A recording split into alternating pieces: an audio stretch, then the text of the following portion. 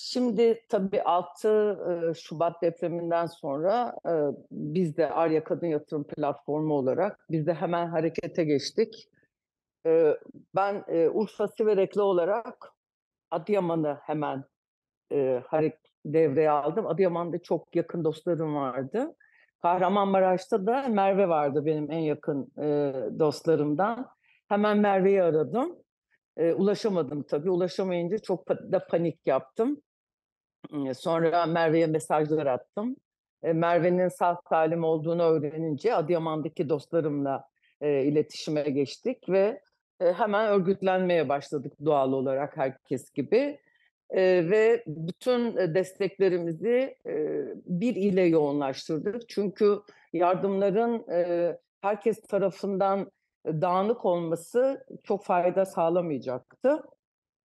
Eee, o yüzden Adıyaman, eee, özelinde bütün desteklerimizi oraya yoğunlaştırdık. Eee, ve, eee, konteynerların da, hani, o bölgeden çıkan birisi olarak çadırların çok işe yaramayacağını düşündüğümüz için ertesi gün itibariyle hızlı bir şekilde konteyner, eee, siparişi vererek, eee, 20 Mart itibariyle de bölgede olacak şekilde, eee, küçük bir grupla birlikte Adıyaman'a gittim geçen sene konteynerleri de ihtiyaç sahiplerine kendi elimizle ara sokakları dolaşarak yine Adıyaman'daki yerel dostlarımla birlikte konteynerleri dağıttık ama bir yıl boyunca da gerçek anlamda ihtiyaç sahiplerini belirleyerek maaş bağladık.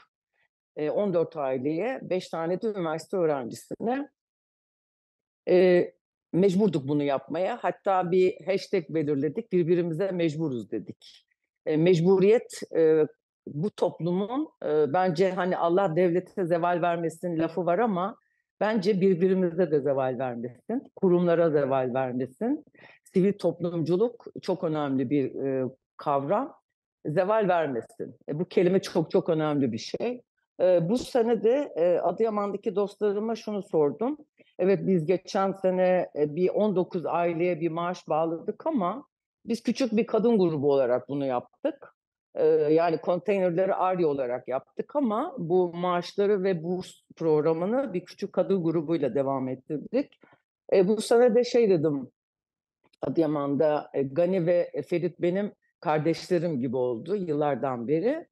E, üniversiteye devam edip ekonomik zorluklardan dolayı okulu bırakmak zorunda kalmaması gereken zeki çocukları bulun bize. Şimdi de 11 tane üniversite öğrencisi çocuklarımızı çünkü çok zeki çocuklar var ve bunların ekonomik durumlardan dolayı okulu bırakmalarını istemedik. Şimdi de 11 tane genç kardeşimizin ekonomik olarak devam etmelerini sağlıyoruz ama böyle klasik bir burs ücretiyle değil. Gerçek anlamda hem ailelerine destek verecek hem de onların okullarına devam etmelerini sağlayacak bir okul desteği veriyoruz. Mecburiyetimiz devam ediyor. Tabii şimdi bir deprem olduğu zaman bu ülkenin ergonomisi olmadığı için bir bölgede bir şey olduğu zaman bütün 81 ile yayılıyor. Öyle değil mi yük? Yani o o bölgenin yükü bütün ülkenin yüküne dönüşüyor doğal olarak. E, maalesef sırtını da doğrultamayan bir ülke olduğumuz için e, o mecburiyetler de her zaman devam ediyor. E, boynumuzun borcu diyoruz. E, ne yapılması gerekiyorsa da yapıyoruz. Yani e, şimdi bugünkü e, bir arada olmamızın sebebi de e, depremden dolayı eşini kaybetmiş işlerin e, kadınların üzerine kalmış ama ekonomik olarak da e, bu e, yetkinliğe sahip olmayan işleri e, devam ettirmek zorunda kalan kadınların e, bu yüklerini destek olma konusunda nasıl bir arada olabiliriz? Öyle değil mi Celal Bey? Yani ana konumuz bu. Eğer Aynen, öyleyse doğru. eğer öyleyse bu iş odağında birazcık sohbeti ben toparlamak istiyorum. E, yapılanlar evet cepte ve yapmamız gerekiyor. E, buna devam edeceğiz. E, dediğim gibi bu mecburiyetler öyle. Ama ben birazcık e, sorun odaklı gidelim ve çözüm üretelim e, isterim. E, o yüzden e, bu bölgedeki top kadın e, kurullarıyla birlikte bu listeler var mı? Varsa bu listelerin e, paylaşılmasını rica edeceğim. Bu kadınlar hangi sektörlerde ve kim bunlar? Çünkü ben Adıyaman'a gidip geliyorum. Şimdi Nisan ayında tekrar Urfa'ya geleceğim ve Adıyaman'a da geçeceğim. Yine bir e, kadın grubuyla geleceğim. E, hem Adıyaman'ı tekrar ziyaret etmek istiyorum. Elimizde bu liste olursa, çünkü konu buysa e, bu kadınları ben hiç duymadım. Yani Adıyaman'dan bana o gün biz birlikteydik sizinle birlikte. Siz bu konudan bahsedince ya hiç böyle bir konu gündeme gelmedi dedim. Hiç bize de aktarılmadı böyle bir şey. Böyle e, bu sektörleri öğrenirsek bu kadınlar kim? Hangi sektörlerde bu iş yükleri onlara e, kaldı? Ondan sonra biz bunları öğrenirsek Arya olarak da, Müntehada olarak yani bizim çevremizde değil mi? Biz ben Kagider üyesiyim, ben TOB üyesiyim, ben her yerdeyim. E, hepimizin de eli kolu uzun insanlarız hepimiz. Yani Kahramanmaraş'ta da olsa, Antep'te de olsa, Diyarbakır'da da olsa, Urfa'da da olsa biz birbirimizi bilen insanlarız. Yani biz birbirimize hiç uzak değiliz, çok yakınız birbirimize. O yüzden e, bu listeler kendi içimizde paylaşılır ve çok kısa sürede de çözeriz. Bu, bu ilişkileri çok hızlı çözeriz. E, mentorluk böyle şeyde değil, lafta kalmaz.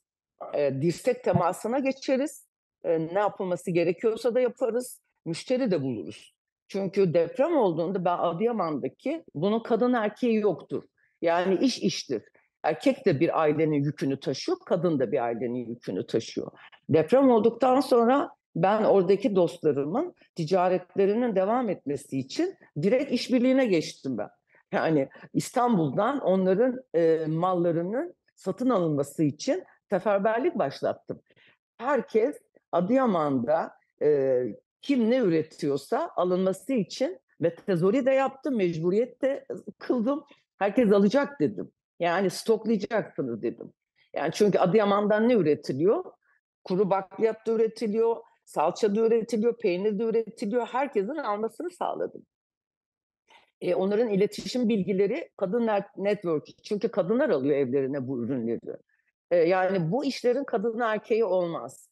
Orada erkekler çünkü erkekler talep edemiyor benim malımı alın diye. Kadın çok rahat bu tarz ilişkilere girebiliyor.